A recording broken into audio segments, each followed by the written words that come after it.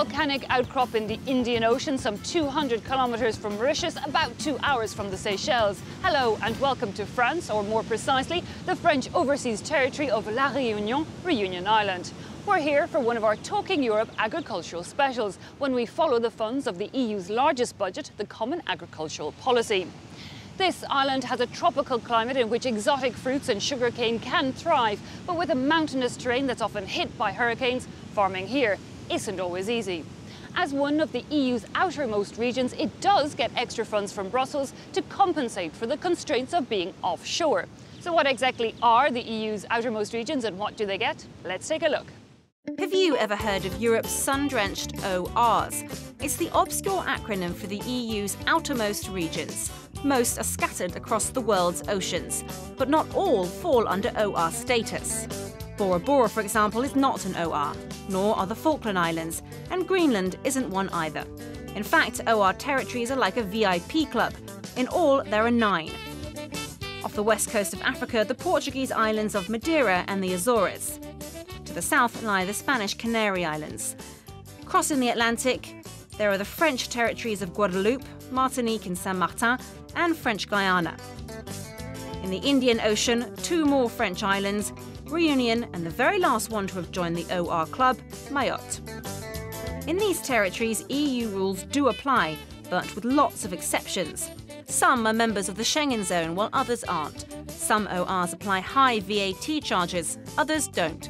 Basically, it's the EU with each place cherry picking EU rules. The ORs have a population of 1.5 million, less than 1% of the EU total. But that tiny fraction received 8 billion euros worth of subsidies between 2007 and 2013. That's four times more than the average European citizen.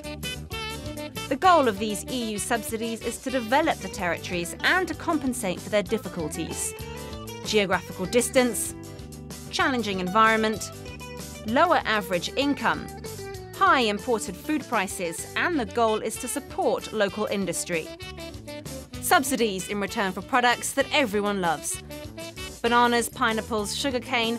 The result EU made exotic products that turn out to be very expensive.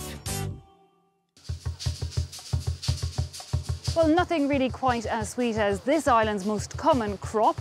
In the 1800s, uh, farmers here began to put sugar in their coffee fields.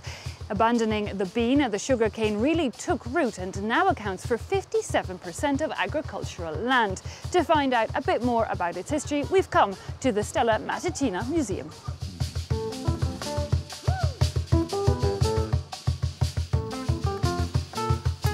Le musée Stella Matutina Euh, the Stella Matutina Museum offers a history of Reunion by telling the story of sugarcane on the island. Euh, the growing and processing of sugarcane was not just about agriculture, technology or industry. Above all, it was a human venture, because to plant and process sugarcane, you need manual labor. And that came through slavery, indentured labor from Europe, Africa, Madagascar, India, the Far East. This diverse population created a unique Creole culture that allowed Reunion's population to bounce back each time it faced a crisis whether it was economic or health related. Until the end of the 17th century, agriculture on Reunion, known at the time as l'île Bourbon, was largely based on subsistence farming. And then larger scale agriculture began with spices and coffee. That dominated the industry in the 18th century, but it ended at the start of the 19th century, when the coffee industry was hit by the Napoleonic Wars, by weather events and outbreaks of disease. It was no longer profitable, and it was replaced by sugarcane. It expanded quickly, and soon there were over 300 sugarcane factories on the island.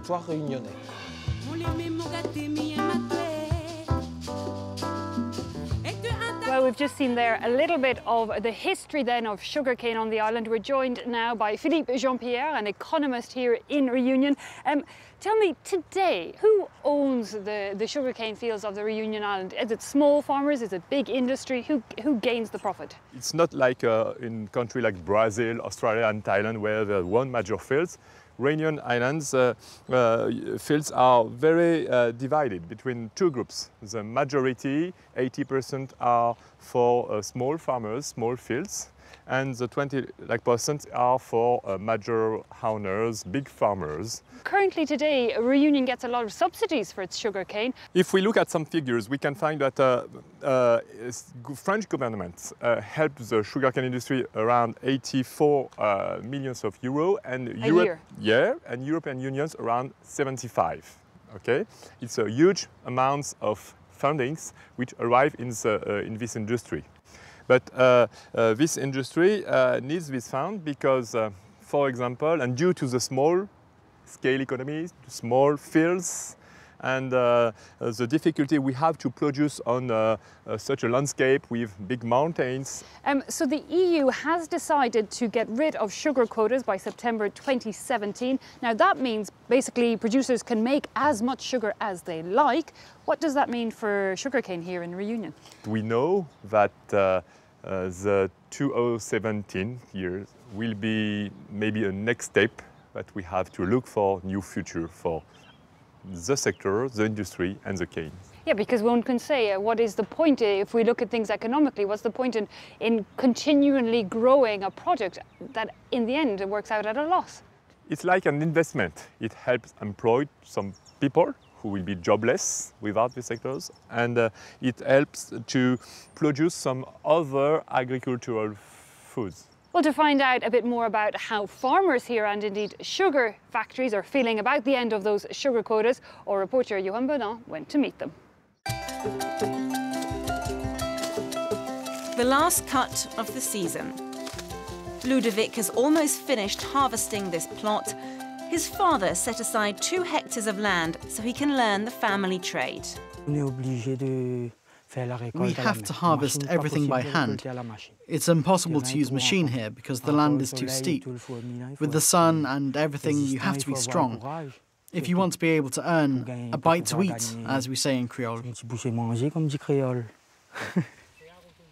Three quarters of land used for growing sugarcane is unsuitable for mechanised farming. Little plots, eight hectares on average, it's hard for producers to make a living. Ludovic makes less than the minimum wage. There's There's no future for young people who want to start farming sugarcane. The land here is too expensive. But it's part of our culture. It's a tradition in Reunion, and we must protect that, and above all, help us, the producers. In the last decade, 1,000 producers have given up. Those still farming are worried about the EU's decision to end sugar quotas. Jean Yves Menacci has fought to protect the needs of small scale producers for nearly 50 years. His final battle, maintaining the fixed purchase price of 40 euros per tonne, more than double the market price. For that, the French government has to subsidise the industry. L'État français France has asked the EU for authorization to subsidize 38 million euros as compensation for the end of sugar quotas. I don't know if it's temporary, but we're not going to ask every year for another 38 million euros. Et 30 millions d'euros. 28 million of the subsidy packet would go to Reunion, in addition to the 70 million euros allocated each year by Brussels. The island's industry is practically on life support. Two refineries are left, both of them belong to Tereos. In exchange for the subsidies, the firm says it will maintain fixed purchase prices for producers. 45% of Europe's sugar industry has shut down since 2006. Elsewhere in Europe, other possibilities exist, but in overseas territories, where unemployment is at 20 to 25%, where 60% under 25 are out of work, there just aren't a billion possibilities for people who lose their jobs. We've managed to make our value in society understood. That's why we benefit from subsidies. 180 million tonnes of sugar are produced around the world each year. Three quarters comes from developing countries, where Tereos is present too. Production costs are much higher in Reunion. The island produces 200,000 tonnes a year. Grains that are the bread and butter of thousands on the island.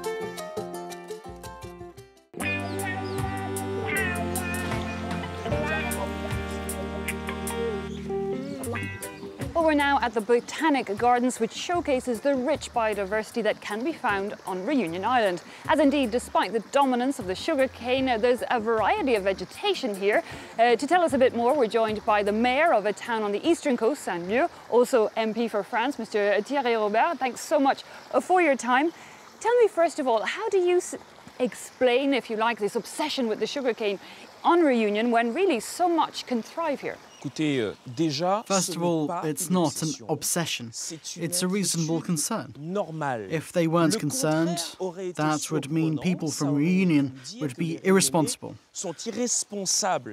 Sugarcane is part of Reunion's history. Euh,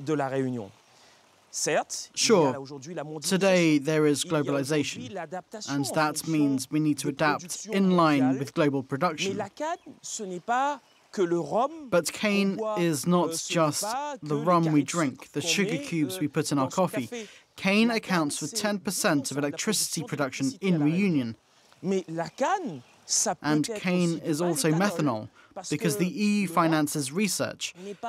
Europe is not some kind of shop that gives money to make up for shortfalls. L'Europe peut aussi financer la recherche. So really uh, full of possibilities and beautiful, not just for the environment, but also good for the atmosphere. Um, at the same time, I was looking at the fruit and vegetable, the tropical fruit and vegetables grown on Reunion Island. I believe it, it gives 70% of the island's needs, but very little is exported.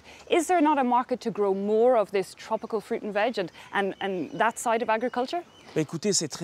It's very simple. Perhaps we've focused too much on sugarcane. But today, there are 20,000 people directly or indirectly in the industry, and 35% of Reunion's population is unemployed, so we cannot afford to make mistakes when it comes to the cane industry. So you're right to say that here in Reunion, we could export, but I'll be biased now. The best fruits in the world are found here. Lychees and vanilla, for example, are just extraordinary. So that means Europe must accompany us as we transition and diversify.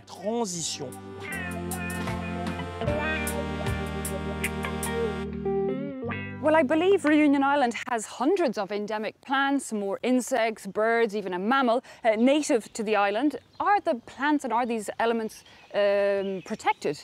Many plants are protected species because biodiversity here in Reunion is extraordinary. It's not for nothing that this area is listed as a UNESCO World Heritage Site. So lots more that can be exploited if the will is there. Um, looking back then at those sugar quotas that are set to end uh, by the September 2017, I believe a lot of politicians have asked Paris for more annual aid, state aid to help the sugarcane. I believe it's now 128 million euros a year. For people on mainland France, if you like, who have the sugar beet, who, you know, why would they be interested in, in giving more state aid, state money to Reunion Island for another form of sugar? Sugar derived from beet has no taste. Sugarcane is something extraordinary and excellent. So Robert, thanks so much for your time. Well, we heard a little earlier in the show from the sugar cane uh, producers, but our reporter Anaïs Guérard went to find out what the sugar beet side of the story has to say about the end of those sugar quotas. Here's her report. 1,000 trucks carrying 23,000 tonnes of sugar beet every day. This is the biggest refinery of its kind in the world, and it's in Connantre, a two-hour drive east from Paris. From September to January, the refinery produces 300,000 tonnes of white sugar. Its French owners see the end of the EU sugar export quota as an opportunity to tap new markets. At the moment, we see no risk of the sugar market becoming saturated. We know there is demand. The global market is growing by 1 to 2% a year, and it's been like that for the last 30 years. In September 2017, the EU will drop its 13.3 million tonne cap on sugar exports. Europeans will be able to produce, refine and export as much as they want. France's biggest firm, Tereos, is eyeing markets in Africa and Eastern Europe. It expects production to increase by a quarter. We'll still be working with 23,000 tons of sugar beets every day, but instead of 100 or 110 days, we'll start working over a 130-day period. If the refinery's machines are to keep turning for longer, more sugar beet is needed. Tereos hopes farmers will increase production. But they've got used to a crop rotation cycle in line with the EU's quota system. I'd rather continue cultivating sugar beet every five years and not every three, because the soil will become overused and depleted, so will no longer be productive. The beet crop makes up 20% of this farmer's production.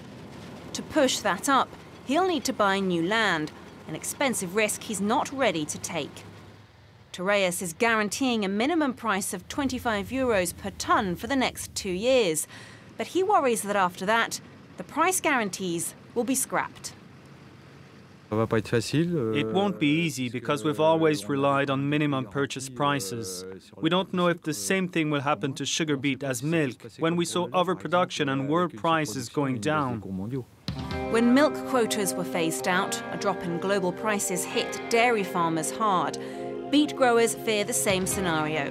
To avoid it, many are following the EU's advice and opting for polyculture production, so they don't focus all their efforts on one crop. We're